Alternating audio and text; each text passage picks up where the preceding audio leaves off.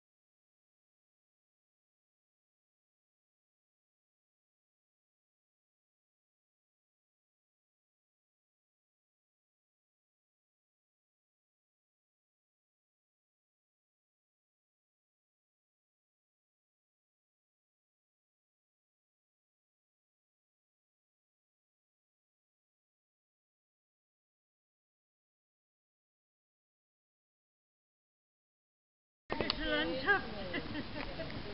Jetzt muss ich das mal für die Familie.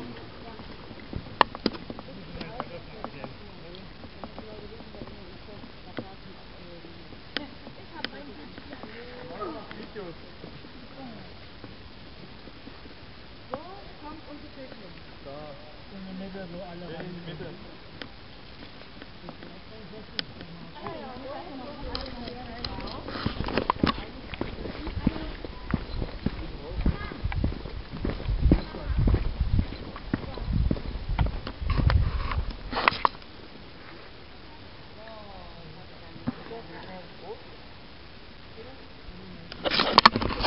Also auf Bildern und Video hier sieht man eigentlich fast gar nichts hier. Also wenn man das mal richtig erleben will, dann am besten selber herfahren. Ist versteckt zu laufen, aber die Landschaft ist wirklich spitzenmäßig. Also wer noch nicht hier war, soll sofort herkommen. also hier die Felsen und alles hier, also das ist wirklich wenn man eine Stunde braucht, um hier zu sein, ist mit dem Laufen und drei Stunden fährt, das, das ist es alles wert hier.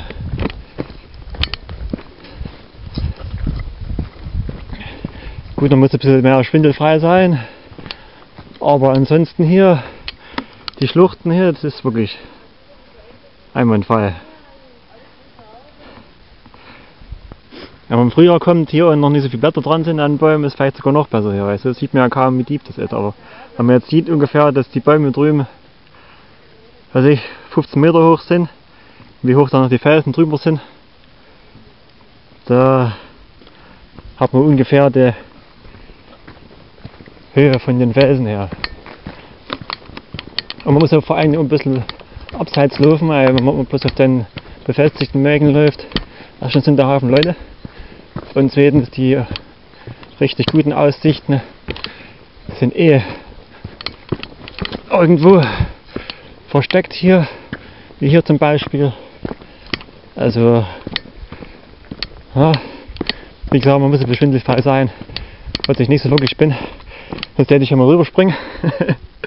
Aber man denkt mal schon, dass es hier auf dem Video besser zu erkennen ist, wie tief es hier runter geht, als wenn ich jetzt bloß Fotos mache. Ja. Die Elbe ist ganz hier drüben, bin hier ganz ein Stück weg. Ich will diesmal woanders hin, wo ich sonst noch nicht war.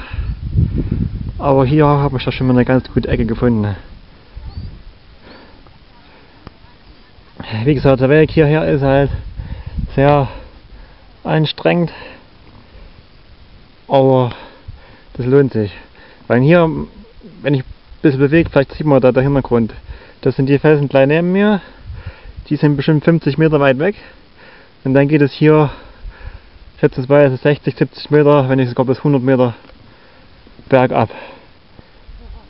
Also nicht ganz ohne her.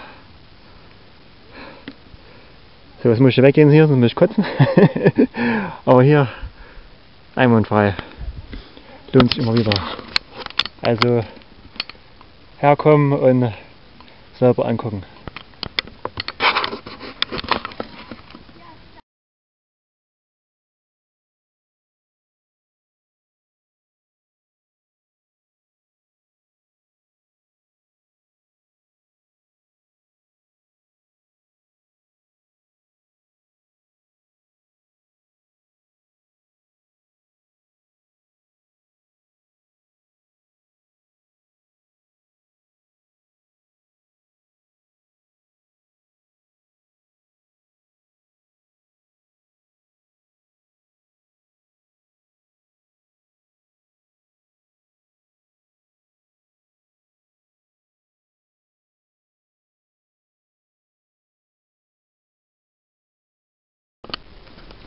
So, das hier muss ich euch zeigen. Voriges Jahr war ja der große Hagelsturm hier in der Region und sind alle Bäume hier abgestorben. Und da das ja hier ein Naturschutzgebiet ist, bleibt das Zeichentrick alles stehen und soll von sich aus wieder verrotten und neu nachwachsen. Man sieht hier, der ganze Wald ist alles kaputt. Das ist euch nicht so schön. Aber es ist halt alles Natur hier. Ob man es will oder nicht. Da muss man auch ein bisschen aufpassen. Die Bäume stehen dann immer so fest. Wenn es kocht und knallt, den Kopf einziehen. Okay. Weiter den Weg.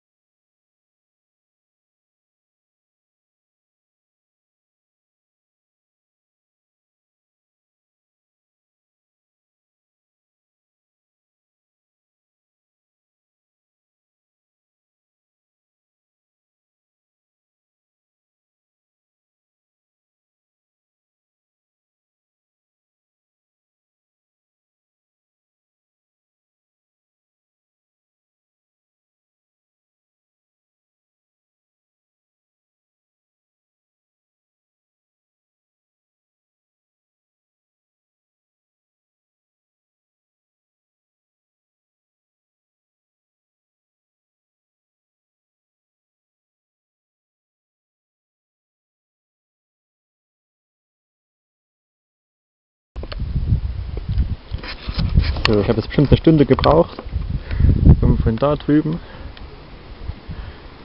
noch hierher zu kommen.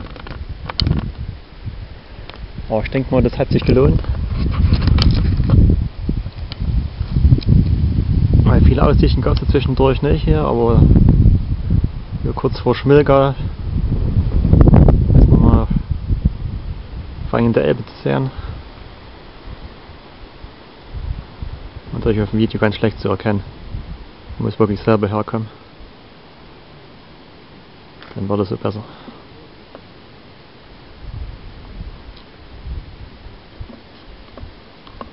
Wie gesagt, auf den Videos kann man das nicht erkennen, wie tief das hier runtergeht. Das sind ungefähr Fichten hier, die sind bestimmt 20 Meter hoch.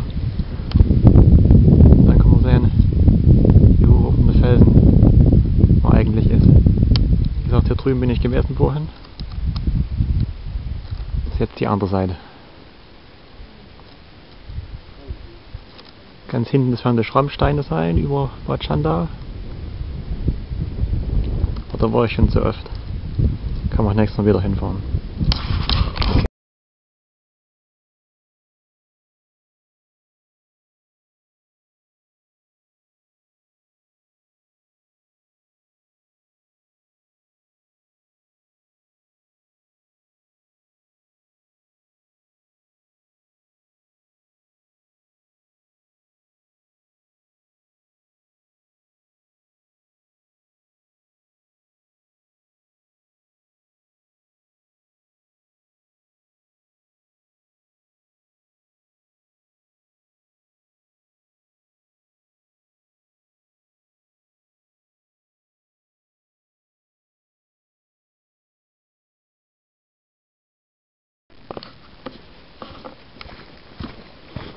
Hier bin ich jetzt voll im Urwald. Es soll hier nach Schmilga gehen. Jetzt gehen wir hier lang. ist alles Natur pur hier. Aber bei den Abseitswegen hier, wie ich vorhin schon mal erzählt habe, die mitten durch den Wald gehen, da sind jetzt nicht so viele Leute. Weil auf den Hauptwegen hier, da bleiben Leute rum, das ist ein Kilometer weit, also da brauche ich wohl nicht wandern zu gehen. Wenn ich nur rumbleibe, rumschreie und irgendwelchen Käse mache, dann kann ich irgendwo in die Stadt gehen und da Bambule machen. Aber das hier, ich kann mal die Schnauze halten.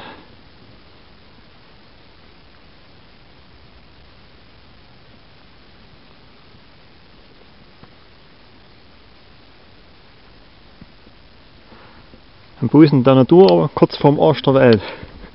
ja, mal sehen, was noch kommt hier. Ich bin ja dann laut, laut Wegweiser bin ich ja dann gleich wieder da in Schmilka beim Auto. Jetzt kann ich mir jetzt schon noch ein paar Wege suchen. Es ist ja noch, noch hell, sag ich mal. Wenn man hier durch den Wald ganz alleine, das fetzt schon. Das ist doof, wenn man hier sich das Bein bricht, wenn man über eine, eine Wurzel fliegt. Da wird so schnell nicht jemand kommen, der dich wieder rausholt wieder. Und durch dann der Nachteil. Da ist immer schön was zu saugen, was zu fressen mit haben. Eine Taschenlampe. Weil wenn man halt durch ein Handy, aber dann der Tour braucht man kein Handy, also habe ich auch keins mit. Muss ich halt auf die warten, die hier alle paar Stunden mal langlaufen. Die Leute.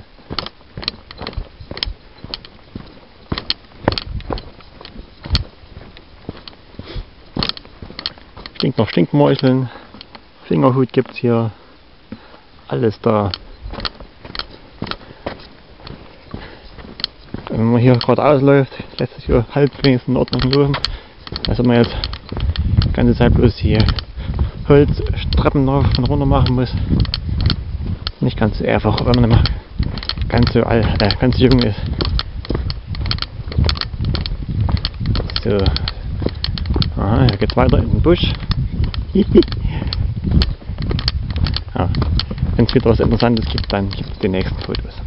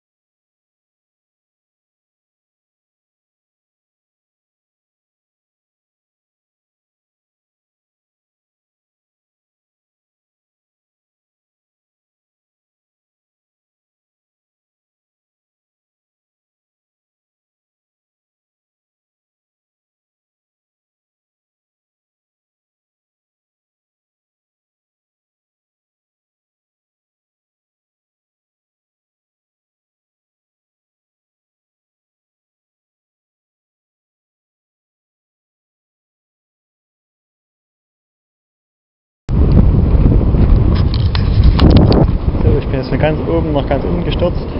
Tiefer geht's nicht. Sind wir auf der Elbe hier. Sieht man hier im Hintergrund. Natürlich auf der Kamera nicht, aber man sieht die Felsen, wie sich die Elbe halt reingegraben hat in das Flussbett, wie es jetzt ist. Hier ist auch die Fähre, mit der man rüber könnte, aber da will ich nicht hin. Irgendwann mal, wenn es mir so ist, ja ich mal mit einem Boot von Dresden nach Bad Schandau fahren und wieder zurück. Aber allein ist das auch scheiße, kostet bestimmt einen Haufen Geld. Aber es ja mal eine Reise wäre, denke ich mal. Es nicht ganz so spannend hier, aber mal was anderes. Aber ich, vielleicht nächstes Jahr, wenn ich da wieder Urlaub habe. Mal sehen. Jetzt muss ich bloß noch hier am Fluss lang laufen. Hier oben lang. Und mein Auto wieder finden. Aber sollte nicht allzu weit sein von hier aus. Gut. Zwei, drei Bilder und ein Video kommt bestimmt noch.